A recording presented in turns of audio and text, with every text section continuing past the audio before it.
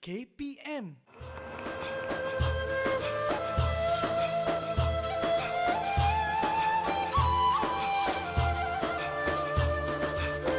Assalamualaikum warahmatullahi wabarakatuh. Apa khabar semua? Kembali lagi kita dalam slot motivasi pagi bersama dengan Dr. Kamilin Jamilin. Jadi pada pagi ini kita insya-Allah akan membincangkan tentang satu topik yang paling-paling penting dalam kehidupan kita tetapi kita selalu abaikan. Apa dia? Solat lima waktu. Penting ke solat lima waktu? Kenapa kita kena bersolat? Ha, yang ini ramai daripada kita tahu solat ini merupakan tiang agama tetapi kita masih lagi abaikan. Baik. Jadi pada pagi ini insya-Allah kita akan bincangkan tentang topik ini. Solat lima waktu. Okey, ramai daripada sahabat-sahabat, adik-adik semua yang mungkin tahu tentang solat lima waktu. Kan kita solat subuh, kita solat zuhur, kita solat asar, kita solat maghrib, kita solat isyak, lima waktu sehari. Lima waktu sehari ini adalah solat yang wajib untuk nak kita laksanakan. Tak kira lah yang muda, yang tua, yang sakit, yang sihat, yang macam mana sekalipun keadaannya bila dah balik, bila dah mukallaf, dah wajib untuk nak kita laksanakan solat ini. Apa pun keadaannya. Kita tak boleh tinggalkan solat lima waktu ini macam mana yang Nabi sallallahu alaihi wasallam ajarkan kepada kita. Tapi kenapa kita kena solat lima waktu? Kenapa kita kena minta pada Allah dalam solat ni? Kenapa kita kena susah-susah bangun? Ha, yang itulah yang ramai lagi yang tak tahu. Okey. Kita tengok sekarang ni ramai mungkin kita pun ada yang culas dalam solat kita solat subuh khususnya kan ramai daripada kita yang solat subuh gajah kan bila dah matahari dah terang berderang baru nak bangun tidur ada yang tak set alarm nak bangun tapi kalau nak kena pergi sekolah kalau kena pergi meeting kalau kena pergi jalan kena buat benda-benda lain boleh pula kan? Itu masalah kita. Ha, kita tak sedar bahawa dosa meninggalkan salat ini sangat besar sebenarnya. Nabi sallallahu alaihi wasallam pun pernah bersabda bainal abdi wa baina syirki awil kufri tarkus salah. Antara seorang hamba itu dengan kesyirikan ataupun kekufuran meninggalkan salat. Jangan sesekali tinggalkan salat. Sebab salat inilah benteng pemisah antara kita dengan kekufuran. Kalau kita tinggalkan salat dengan sengaja maka bererti kita dah berada di di persimpangan antara iman dan juga kufur. Sebab tu Nabi sallallahu alaihi wasallam pun bagi tahu bahawa salat itu adalah tiang agama. Tiang. Kalau kita nak bina bangunan, kita mesti kira ada tiang. Kalau romboh ataupun tak ada tiang tu, bangunan tu boleh roboh. Kalau tiang tu tak kuat, bangunan tu boleh roboh. Kita kena ada banyak tiang tak cukup satu tiang. Kalau satu tiang je mungkin bangunan tu tak tak balance, tak stabil. Kalau kata tiang tak cukup, mungkin runtuh juga bangunan tu. Jadi kita kena kuatkan agama kita, kita kena kuatkan iman kita dengan solat. Jangan tinggalkan solat. Ha, kalau kita tinggalkan solat, maybe kita dah terbuat satu perkara yang kufur kepada Allah Azza wa Jalla ini merupakan antara dosa yang paling besar. Sebenarnya adik-adik semua, sahabat-sahabat semua yang dikasihi oleh Allah, Nabi sallallahu alaihi wasallam ini tak rasa beban uh, melakukan salat. Kita ni kalau nak buat solat ni Allah, kalau bolehlah kita nak nak cepat-cepat solat, rasa macam solat tu beban, kita macam terpaksa je. Tapi Nabi SAW bila Nabi tension bila Nabi penat, Nabi nak mengadu, nak mencari ketenangan, Nabi mencarinya di dalam salat. Nabi kata kat Bilal, "Arihna bis salah." Dan kita ni nak solat ni nak nak kita nak enjoy, nak rehat dalam solat sebab masa kita solat itulah masa yang antara kita connection antara kita dengan Tuhan kita. Masa itulah kita khususkan, kita korbankan waktu kita. Kita berikan sedikit masa kita untuk melaksanakan untuk berhubungan dengan Allah Azza wa Jal. Sedangkan Nabi sallallahu alaihi wasallam pun pernah sebut aqrabu ma yakunu al-'abdu min rabbih wa huwa sajid. Waktu yang paling hampir seorang hamba itu bersama dengan Tuhannya adalah ketika dia bersujud masa kita bersujud masa tu kita letakkan dahi kita ini di atas tanah tempat orang berjalan yang mana kita letakkan tangan kita lutut kita kedua kaki kita ni semua. Untuk merendahkan diri kita mengiktiraf bahawa Allah itu adalah Tuhan kita dan kita berdoa lah banyak-banyak ketika itu. Berdoa sebab itulah waktu yang paling hampir antara kita dengan Allah. Dan itu waktu antara yang mustajab untuk nak kita berdoa kepada Allah sebab tu Nabi sallallahu alaihi wasallam happy Nabi gembira bila dapat melakukan salat. Sebab sangat tenang dirasakan kalau kita dapat berhubungan dengan Allah. Masa itulah kita dapat merintih merayu kepada Allah. Kita dapat merasakan kerendahan diri kita sebagai seorang hamba. Jadi jangan jangan abaikan, jangan lepaskan peluang untuk nak kita sentiasa solat. Bukan banyak pun. Solat ni cuma yang wajib ni cuma lima waktu. Lima waktu je, waktu pagi sampailah waktu Isyak. Allah nak suruh kita ni ingat pada yang menciptakan. Kita nak kena ingat pada Allah setidak-tidaknya pada lima waktu tersebut. Takkan tak boleh kan?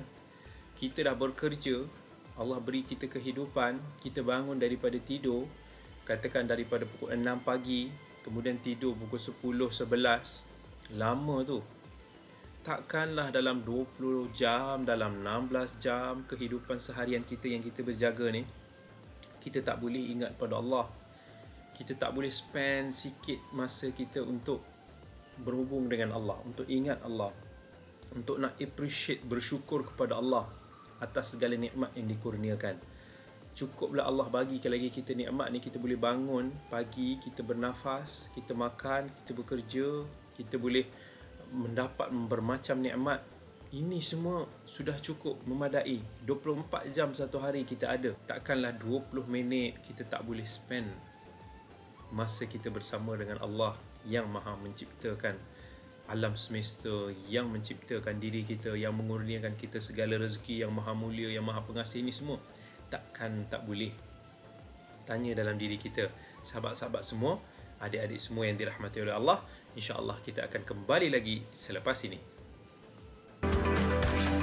Didik TV KPM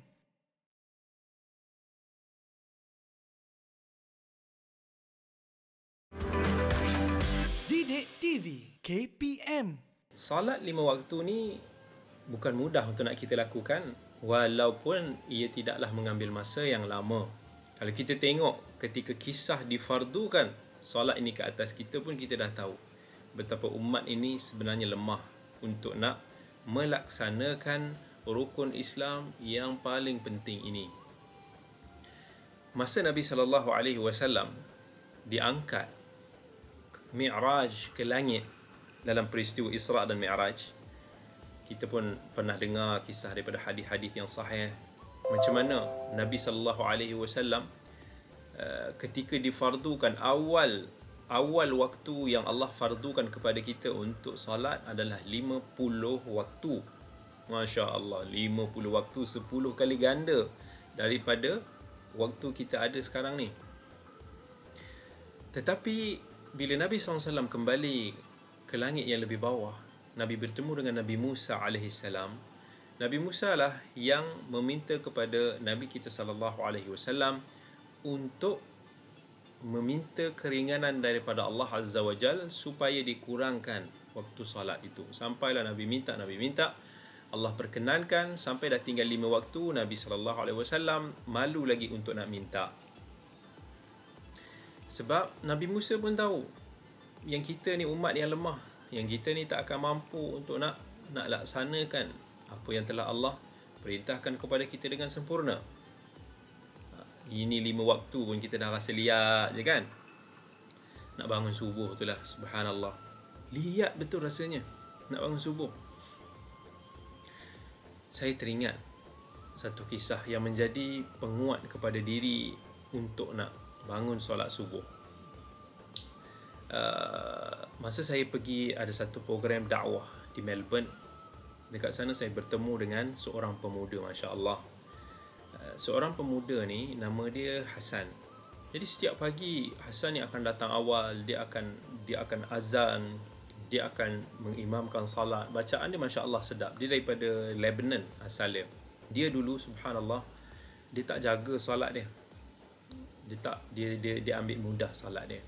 Sampailah uh, masa dia datang berhijrah ke Melbourne ataupun di Australia masa tu dia masa tu dia lagi muda dan dia masih dalam zaman huha-huha kan.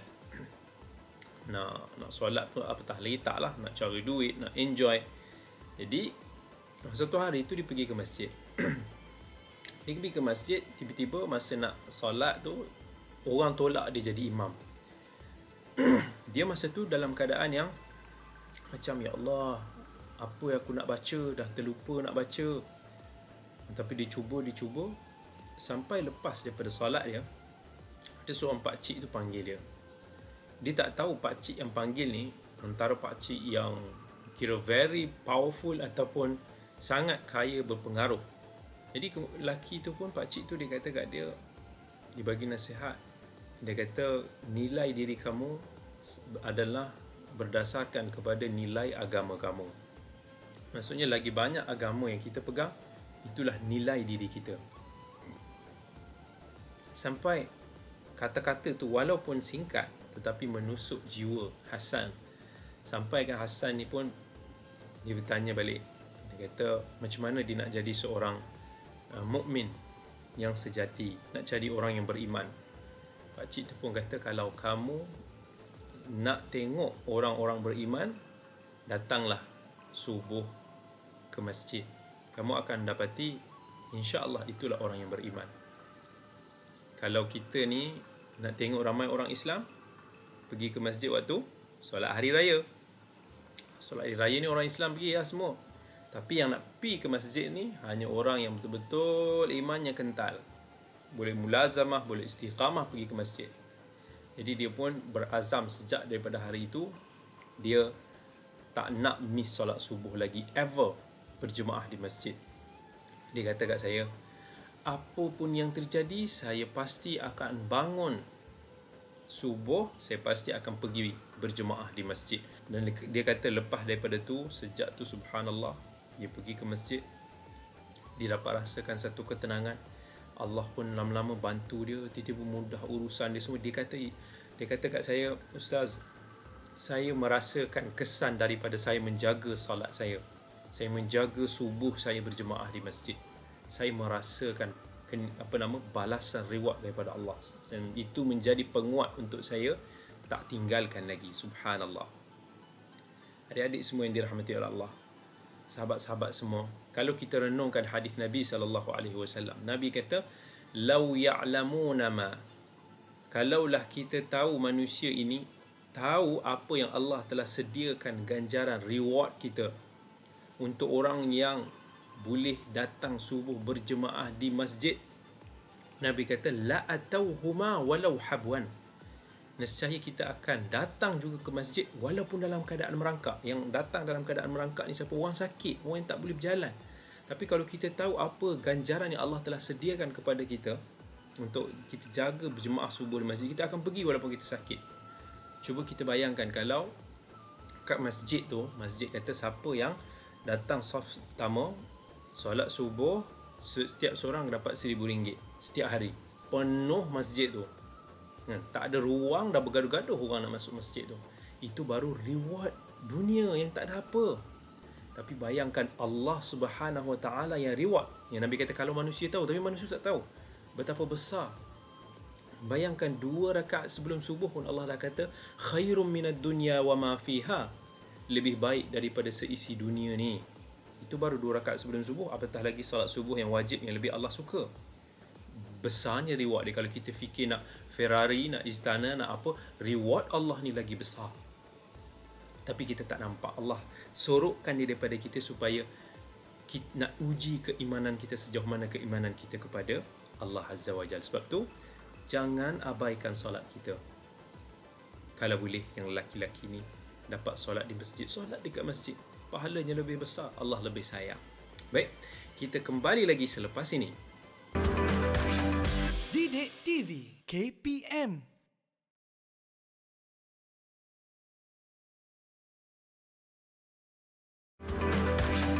Didik TV KPM Tadi kita dah cerita tentang pentingnya untuk nak kita menjaga salat berjemaah.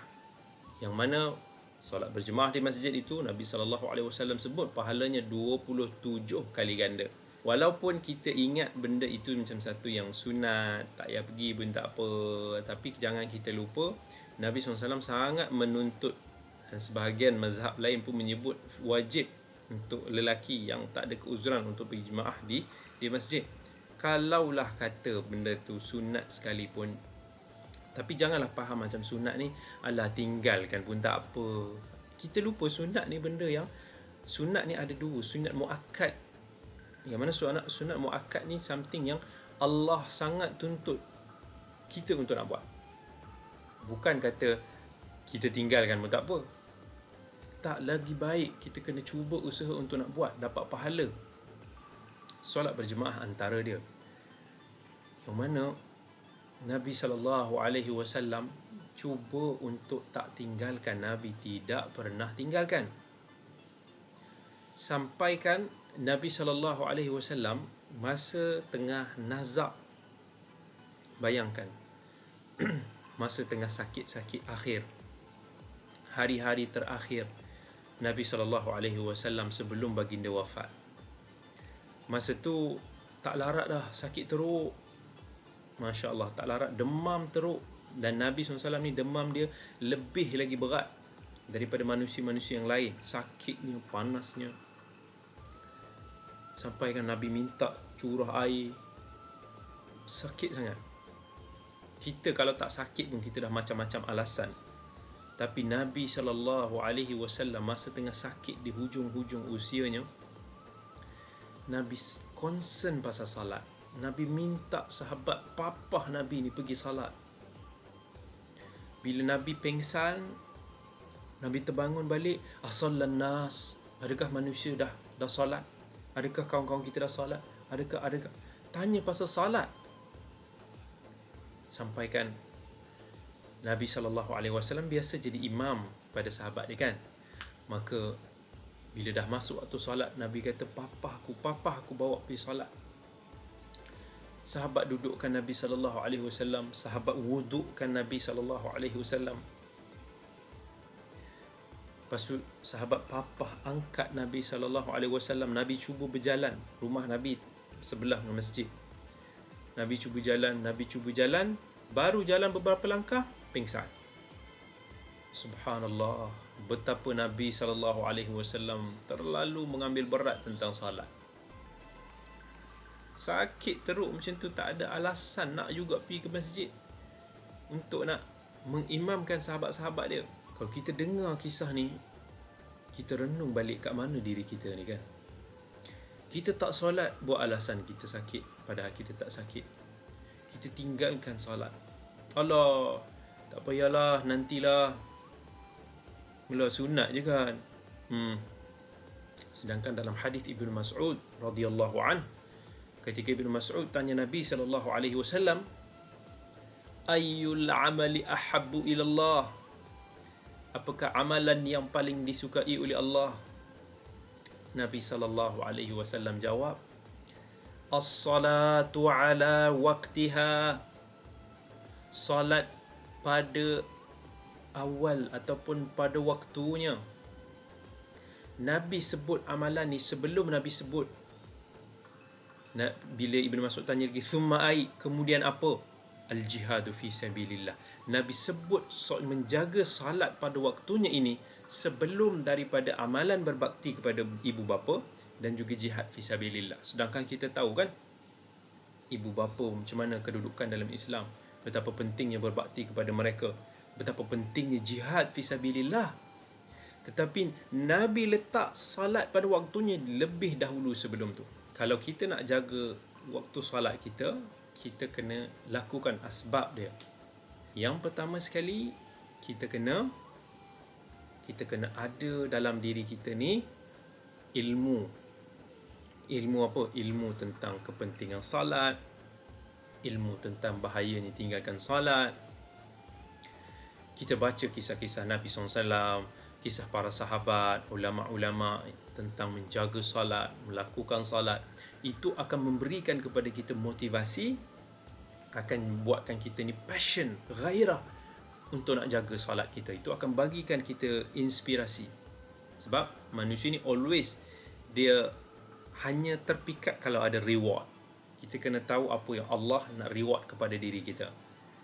Allah apa balasan Allah apa ancaman Allah. Tu semua boleh jadi menggalakkan kita untuk nak menunaikan salat mengancam kita daripada meninggalkan ataupun mengambil mudah tentang salat yang kedua jaga masa jaga masa ni kita tahu kalau kita susah nak bangun subuh sebab kita tidur kurang, tidur awal.